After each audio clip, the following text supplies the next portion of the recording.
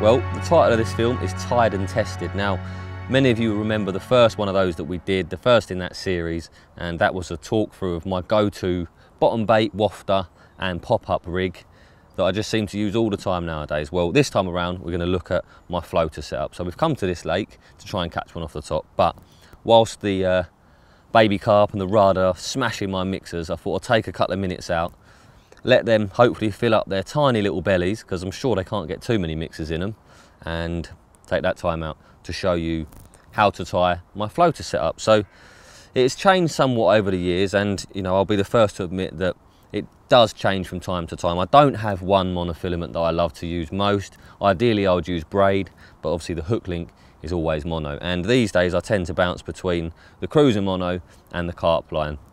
I do find the cruiser mono um, is more buoyant for longer. The carp line does seem to take on a bit of water and sink a bit faster than this stuff does. So be one of those two, and this time around I'm using the cruiser mono in eight pound. Now don't let that deceive you because that stuff is seriously, seriously strong. And that is why I use it. So I'll talk you through how to tie it because we get loads and loads of questions with regard to rigs rigs is always the big thing. So this is my floater setup, this is how you tie it. So the first thing you want to do is take six feet of your chosen hook link, like I say in this case, eight pound cruiser mono. Take six feet of that.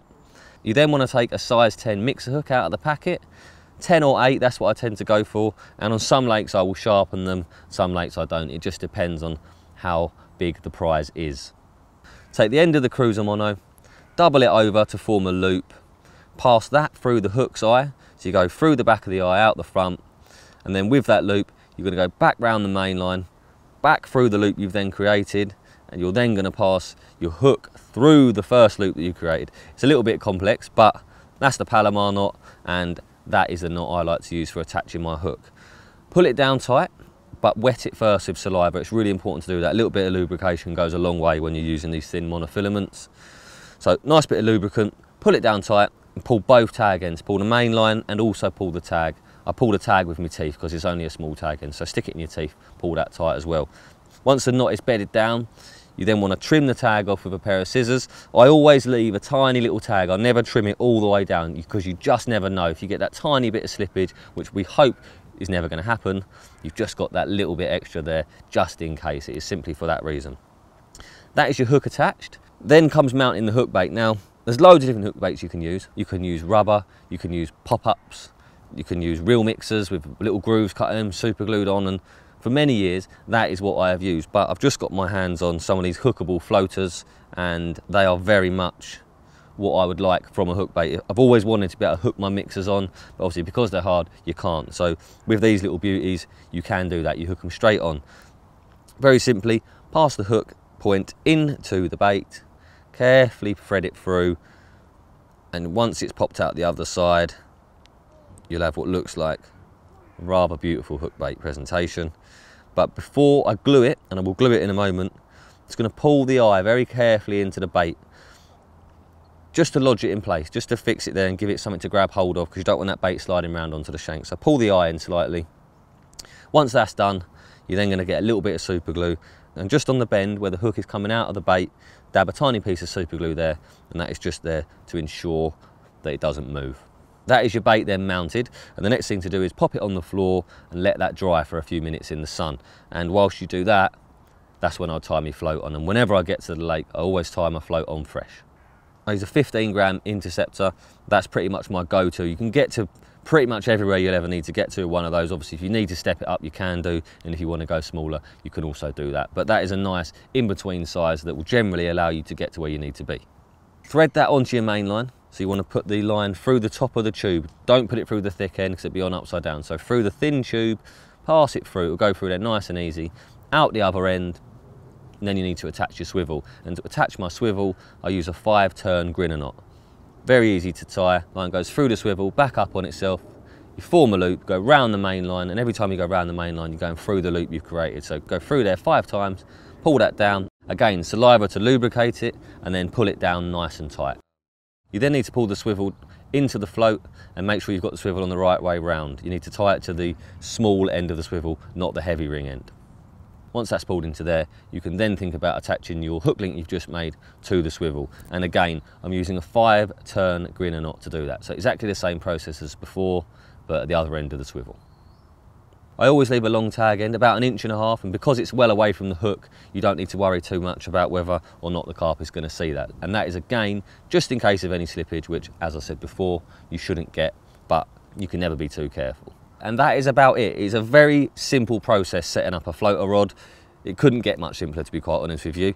That's my go-to presentation and hopefully it's going to catch me a carp today. But before I cast the rod out, I'm just going to talk about the rod itself. So the rod I'm using is a two and three quarter Century Fatboy Slim. It's a very old rod. I've had these since I was, I don't know, 15 years old. They were two and three quarters when I got them. They're much softer than that now. And that's nice when you're floater fishing. The reel, that is a Daiwa SS2600 whisker. Loads of people use these for floater fishing. And I've loaded it up with 10 pound cruising on it. So a slightly heavier breaking strain than what I'm using for the hook link. Now, one thing I will point out is, if you're fishing a weedy lake for big carp, this isn't what I tend to use these days. I use a heavier rod and a bigger reel. The one thing with these reels is you don't gain a lot of line. You know, one of those turns on that is nowhere near as much as a big pit reel. So if you're fishing for big carp in a weedy lake and you need to gain line rapidly, a tiny little reel and a soft rod probably isn't the best way to go. So weigh it up, work out what you need from your rod and reel setup, and the same for your hook links. You know, if it's savage weedy, step your line up. Obviously this eight pound line, I've said it's nice and strong, but you know, massive carp in very weedy lakes, an eight pound hook link probably isn't the one. So think very carefully about your main line, your hook link, the rod and the reel before you go floater fishing. But for what I've got in front of me now, this is absolutely perfect. And that is how you tie my floater setup. One thing to do now, catch a carp on it.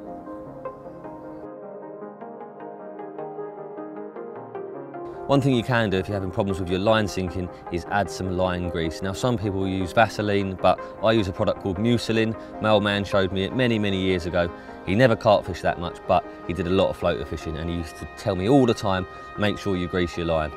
And quite simply, it will help with the buoyancy. So if your line's sinking, add a little bit of grease.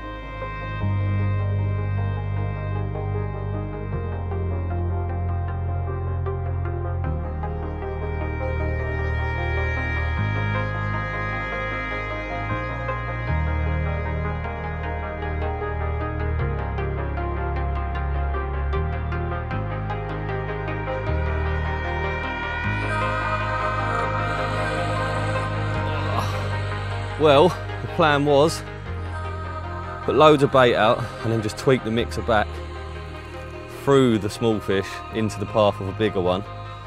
And it has worked. And we've hooked a mirror. I can see his big old scales. Looks a mega carp. Just got to get him in. Right, well he's not far out now. He's a lovely little fish. Big old scales all over him. Oh, he's beautiful.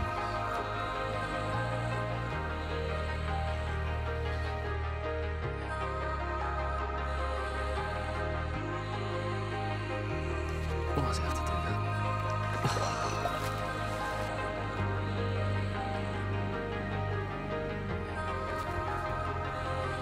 Around his dorsal again. Why does it do that? Yay! What an awesome little carp. That's what we come for. I thought I was going to get plagued by those little ones all day. Thank you, carp gods. Right, hooks come out in a minute.